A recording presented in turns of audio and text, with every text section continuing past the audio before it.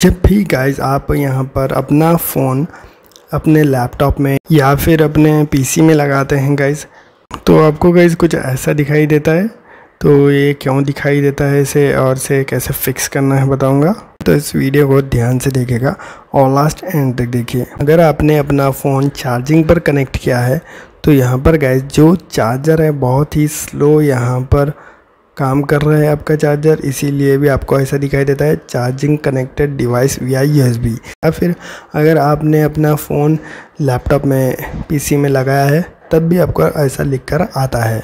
अगर चार्जिंग पर तो अगर आप लगाते हैं तो ऐसा लिख कर नहीं आना चाहिए। तो आपको गैस यहाँ पर सबसे पहले चार्जिंग का जो केबल होता है, वो आपको देखना होगा गैस अगर आपका फ़ोन फास्ट चार्जिंग सपोर्ट करता है तो आपको एक मरतबा केबल को निकाल कर लगा देना है एक मरतबा। चार्जर को भी एक मरतबा आपको निकाल के लगा देना है अच्छे से। इसके बाद आपको देखना होगा।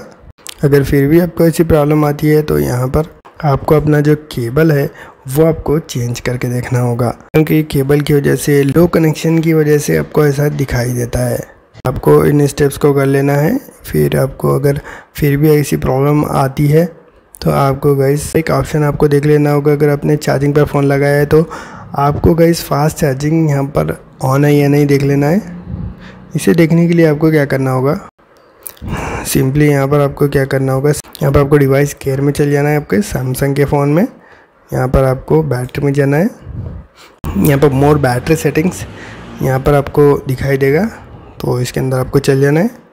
जैसे आप जाएँगे तो यहाँ पर आपको दिखाई देगा फास्ट चार्जिंग इसके ऊपर आपको क्लिक कर लेना है ऑन कर लेना है।